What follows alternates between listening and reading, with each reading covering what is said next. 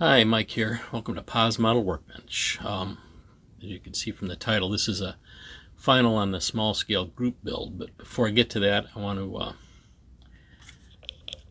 thank Dan over at the 60s Rule channel, Dan DeMan.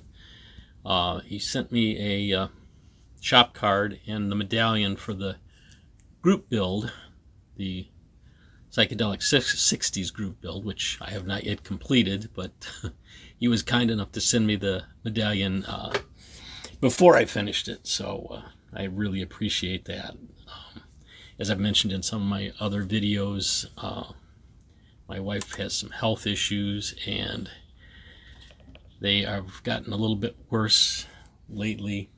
I mean, it comes and it goes. It's it's all over the place, so we can never really plan um, timing wise on anything. And uh, sometimes she'll go six weeks without a transfusion, and uh, now in the last three weeks she's had six units. So it's just all over the place. But uh, we're muddling through.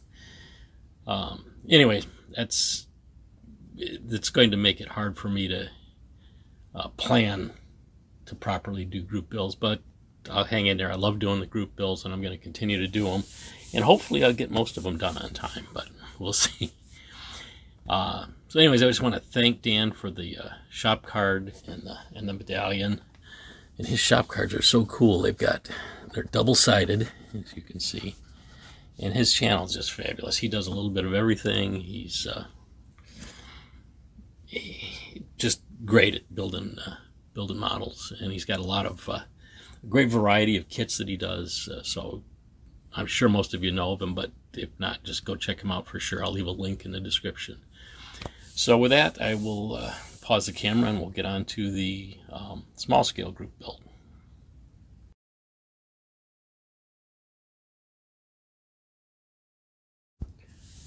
So quite a jump from the washed parts trees and so on to where I am now.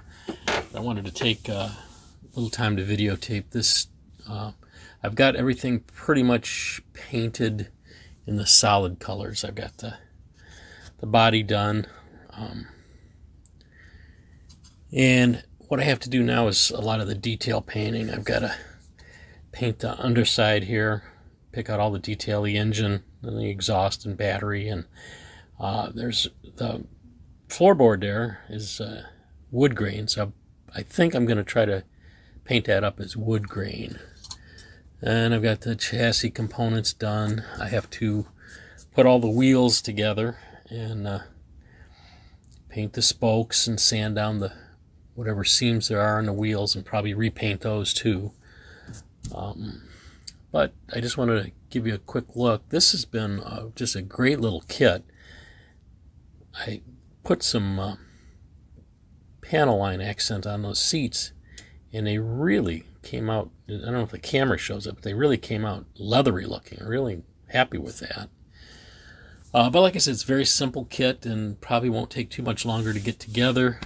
So i just wanted to put this quick little segment in here to show you where i am uh, in the build before i go on uh, to finish. This will probably uh, be it until i'm finished with it because there's really not that much to it. So uh, until uh, the next uh, update here, I'll uh, talk to you soon.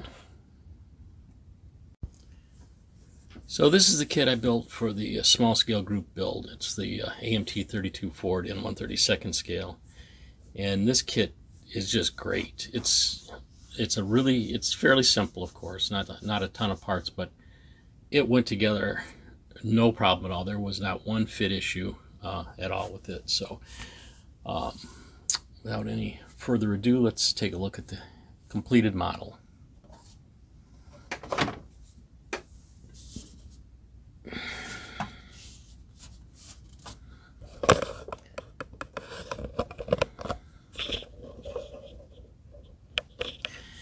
So the green, every time I do these videos, I, the green is much brighter in the camera than it is in person. In person, it's it's very much an olive drab, which actually looks, I think, a lot better than the picture does, the, the video does. But um, like I said, this kit went together flawlessly. It's just a really nice little kit. A fun build, no fit issues, no problems with it. Um, just, just a great kit. So, I, uh, the only problem I did have with it, and my fault, one of the lens fogs fogged up and the other one didn't. I don't know what I did. I'm using a glue that dries clear, doesn't fog up the lens, so I don't know if I touched it with the glue on my hands, probably what happened. I don't know, but uh, that was the only issue I had with it, and that was my fault. So, um, I do. I meant to black in that horn down there. I got to go back and do that. Just black in the inside of it. I put the decal on it. Uh, came with a variety of different uh, decals you could use, and this one I thought looked good with the brown body, so I went with that. Um, and like I said, I, I have no complaints whatsoever about this kit. So there it is, all done and ready to put in the, on the shelf. So I just want to thank uh,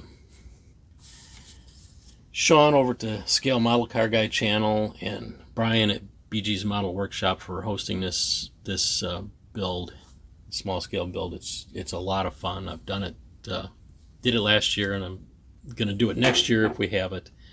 So uh, thank you guys for for hosting this, and I will have a few uh, pictures at the end just uh, very few during construction. So stick around for that. I really appreciate you watching, and uh, I'll be back to you hopefully very soon. Bye.